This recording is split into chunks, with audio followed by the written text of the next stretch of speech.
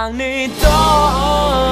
希望时间能够替我说。广众的新生活运动宣言，好像这次越来越多，越来越确定。之前就是告诉大家我们要吃早餐，对然后这一次又增加了，就是希望大家能够用微笑面对生活，对然后要哦耶这样子，就是要快乐。你的人生观就是这样子吗？对，这就是我人生观。像刚刚讲到的，就算噩梦包围世界嘛，还是嗯微笑，微笑。我觉得我我之前有很多个，就我自己的经验，就是我会觉得这样的方式是是会比较像是有出车祸啊，嗯哼，然后我也转过戏嘛，转戏，嗯然后我觉得这些事件其实都算是人生中的挫折比，较对，算是。嗯然后，对啊，其实，但是我都很快的就，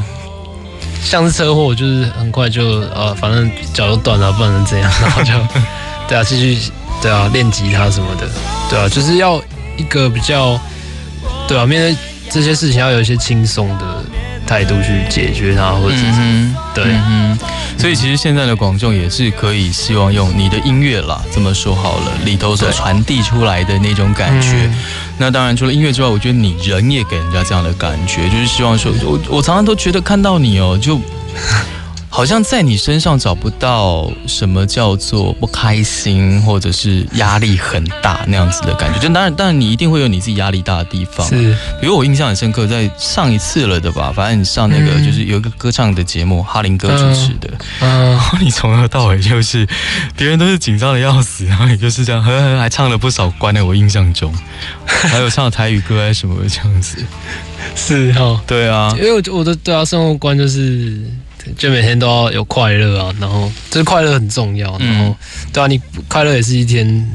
然后你自己闷在那边也是一天，嗯，对吧、何不这个敞开心胸这样？都决定了，我们要用微笑。你自己回想，你这一辈子。截至目前为止，有没有哪一段时间或哪一件事情，你个人认为会是最不开心，甚至几乎差一点点要被打垮的时候，有过吗？呃，如果真，我觉得就是车祸那一段呢、哦，或者是要转系的那一段，嗯哼嗯哼，对啊，因为